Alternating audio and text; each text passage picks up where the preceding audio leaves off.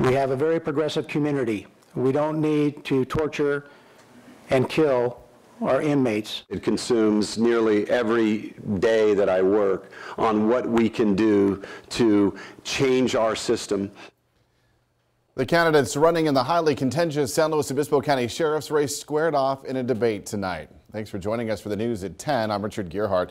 Sheriff Ian Parkinson is running for his third term. His challenger, Gregory Clayton, retired as a San Luis Obispo police officer 25 years ago and is now a private investigator. Karina Corral was at the debate and joins us live in the studio with more. Karina?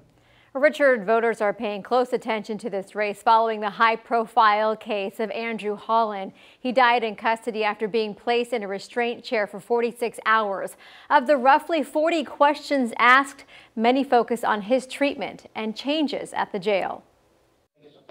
In front of a packed house, the case of Andrew Holland's jailhouse death was front and center. With his parents in the front row, the candidates addressed his now high profile death. We all have had moments in our life where we've had those things that we want to go back and say we wish we could change.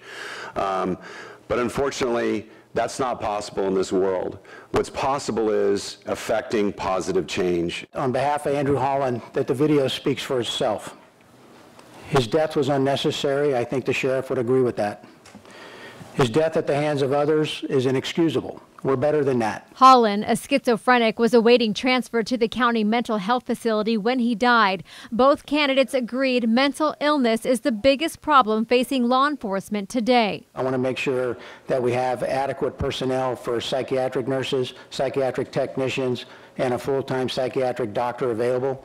I want to have that psychiatric uh, care unit established. Parkinson says he has plans in the works, starting with hiring a chief medical officer at the jail. We're also in contact or in contract negotiations and discussions with the state of California to do a 10-bed facility and open up our own uh, facility within the jail. Other questions raised. A 14-year-old asked how each plans to keep high school campuses safe. We have mapping for every school, nearly every school in the county. We've just rolled out a panic button for 3,200 faculty members in all of our schools. Clayton proposes a program that alerts authorities when gunshots are fired. And gives the GPS coordinates, and it cuts the response time in half to our schools. And each candidate attacked the other's experience. He was a line level police officer. He did not have any supervision or management experience. My response is, how has all those years in law enforcement helped you when you came to the situation where Andrew Holland was held in the chair.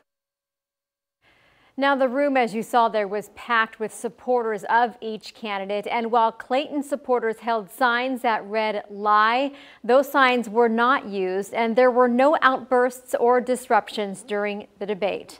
Live in studio, back to you, Richard. All right, thank you, Karina. The forum was hosted by the San Luis Obispo County Latino Outreach Council, which will also be hosting another debate on April 25th with the four judicial candidates running for two open seats.